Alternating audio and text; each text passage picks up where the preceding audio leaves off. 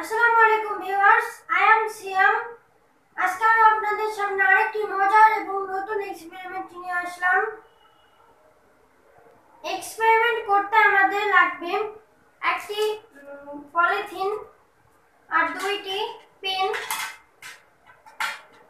এক বোতল পানি, একটি বড় বাটি। তো চলুন শুরু করা যাক আজকের এক্সপেরিমেন্ট আশা করি এক্সপেরিমেন্ট আপনাদের ভালো লাগবে।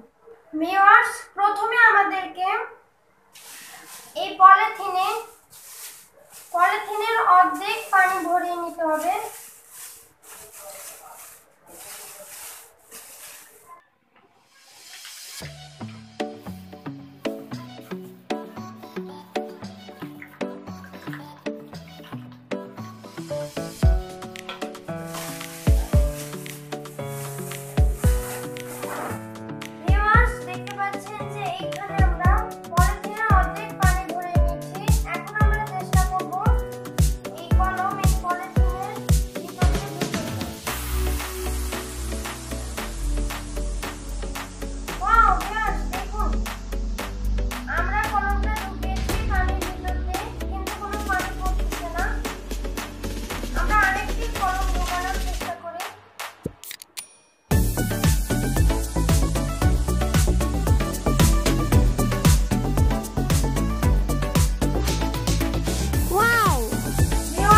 Thank you.